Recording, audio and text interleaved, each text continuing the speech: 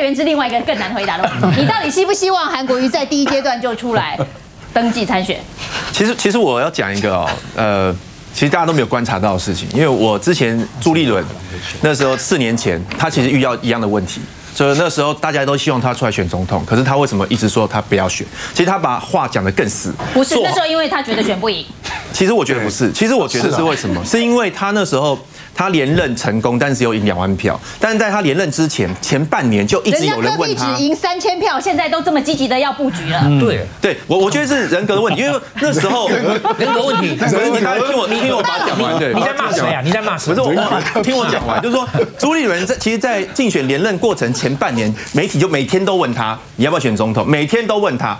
他把话讲得很死嘛，做好做满。现在做好做满，什么好什么满，已经变成流行语，就是从他开始。但是是负面的，是负面的。但是他为什么讲这么死？就代表说他压根就没有想到连任之后他要选总统。那他其实一个脸皮很薄。立功那后，听你还国民党，没有？你你为什么讲那么死？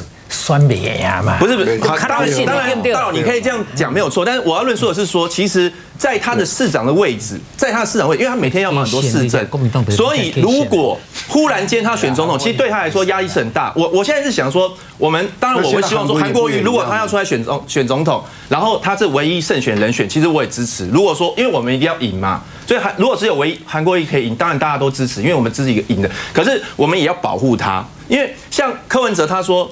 本来他说六月来宣布，现在又说九月宣布。我其实我之前就讲过，我他说六月宣布的时候，我就说绝对不可能六月宣布。你六月问他，他就会说你九月再问我。我只有为什么？因为他还是市长啊。他如果六月就宣布要选总统，那酸他的人已经想好各种方法来酸他。我我举一个例子，你之前朱立伦跑去选总统的时候，新北市政只要发生一个问题。马上就有人说，因为我们没市长，我们市长选总统，这种这种是非常常见的。那还有算他什么呢？他在宣布参选总统第一天，马上就有人问他说：“哎呦，那你那接下来那三个月的薪水，你要不要领啊？”很就很多问题就会跑出来。所以我的意思，我的意思是说，秀英姐，你问我说支不支持韩国瑜？如果国民党只有韩国瑜可以胜选，那当然我们绝对现在的民调显示是这样啊。对对，如果说是现以现在的民调来看，你也支持韩国瑜出来。如如果说，譬如说现在他初选，人家是说六月嘛，六月，呃，如果按照周习伟的两阶段的，所以你认为两阶段会发生？伟汉的说法说一定会发生啊，因为黄伟汉，你们不要老是都推给别人嘛，你自己觉得怎么样？我觉得黄伟汉的说法非常有可能发生，为什么？因为六月份的时候，因为周习这个是周习伟自己提出来的嘛，那大呃所有参与总统候选人参选都可以协调那个方式嘛，那周习伟他只有一票啊。就是那朱立伦、王金平都反对就没有了。我补充一下哈，他参选他就可以讲嘛。那他提出这个制度出来的时候，大家不敢反对啊，因为只要一反对就得罪韩粉嘛，所以大家就会说好，那我们就试试看。同时这也是个信心嘛，我要参选，我我不会害怕说哦，那不要好了，因为我可能不会过，我会输他，所以我不要。如果说今天只有韩国瑜可以赢的情况下，当然我们绝对支持，但是我们要保护韩国瑜，因为韩国瑜如果六月份。他就成为国民党的总统候选人，那他会面临到非常非常非常多压力，这就是我刚刚所讲朱立伦在四年前面对的压力。所以大佬讲的应该鼓励韩国瑜去登记，那他六月就成为国民党候选人，其实他后面会这条路会非常难走。高雄只要完全是小事，因为你不是国民党，但我们现在小看保护国民党的角度。我觉得这个问题真的要好好思考一下。那原之综合你刚才的这个论述，你的意思是说，韩国瑜不应该在第一阶段就去这个登记参选，但是呢，第二阶段应该会发生。赵伟汉的分析，但是会发生。那第二阶段呢？如果其他人还是赢不了柯文哲的话，你就支持韩国瑜，但我但我觉得第一阶段出出来的那个人换掉。呃，我我觉得第二阶段不应该是六月啦，我觉得第二阶段不应该六，因为对六月对韩国来说真的还是太早了。太早。就是等柯文哲啊，九月啊。对，那你如果说真的到九月，九月再换，我们推出来的候选人如果真的跟柯文哲差距非常大。那当然，我我是我觉得要想办法，但不见得是要换，但是一定要想办法，因为毕竟胜选是是唯一的 目的。我举两个比较生活的例子哦，大家就可以知道，像我每天都带包包，大家问我说为什么带那么大的包包啊？里面都会有一把雨伞，每天都带。我带着伞，每天带，但我不一定用到它。所以韩国瑜他可能成为国民党，如果真的需要一个。万一雨伞破了，我也不能用嘛。现在看起来不错，你打开破掉了，没有用了。当国民党面对一个台面上所有登记参选人都打不赢的对手的时候，那个人是谁？哦，可能是柯文哲，可能是别人的时候，还有没有人可以赢？那个时候就是第二阶段需要启动的时候。如果没有这回事，在六月底的时候，所有台面上想要参选国民党也登记领表的人，可以击败任何可能对手，包含柯文哲，就没有再去找更强人的问题了。这第一个。是。第二个，所有的男生去追求女生哦，都是从帮他修电脑跟共办读书会开始，他不会第一天我遇到你就是我想跟你结婚，那讲加喜啊。所以韩国瑜他现在在做事情，刚刚在讲到日本，我就莞尔一笑。其实他在做他在做准备。好，没关系，大宝我把它讲完哦。所以国民党的支持者并不是说一定要韩国瑜，而是他们一定要赢。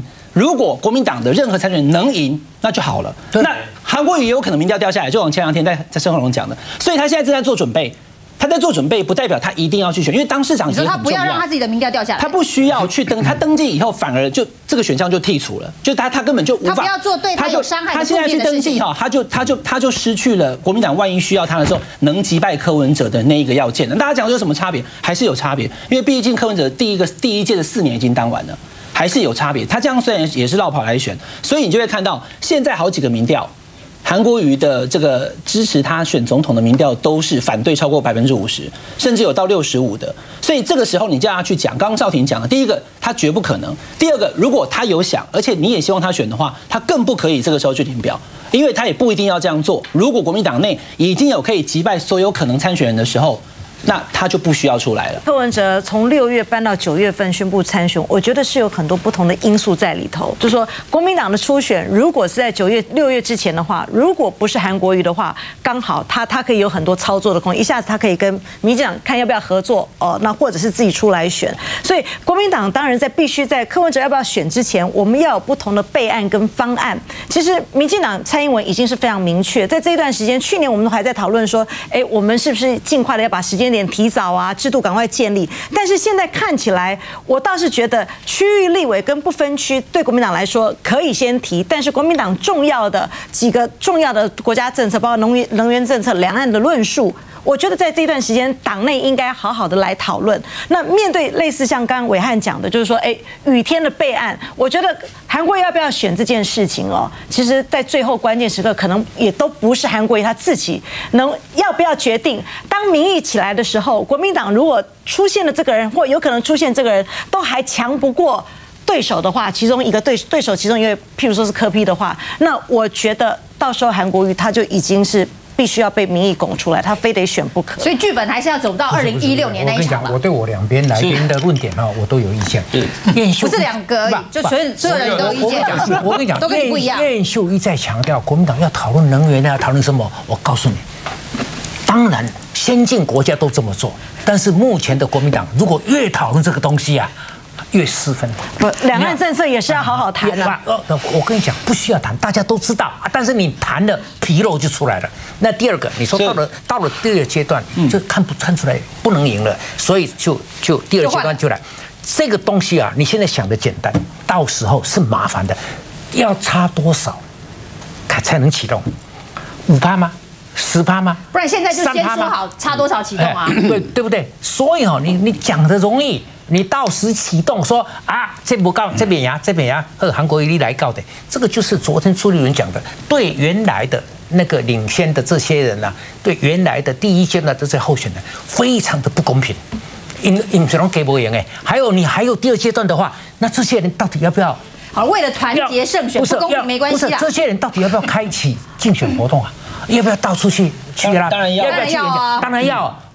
吼。那那我哦，卡双卡两一半，韩国一点在等，那我是要去选线的，对不对？你阿讲，我跟你讲，这是不合理的，这是庸人自扰的。如果说韩国现在第一阶段就去登记的话，那国民党就打开笼放暗枪，回民调了了。这样的国民党，不要也骂我唾弃，对我在这里吐痰，唾弃，你知道就不要让国民党当选。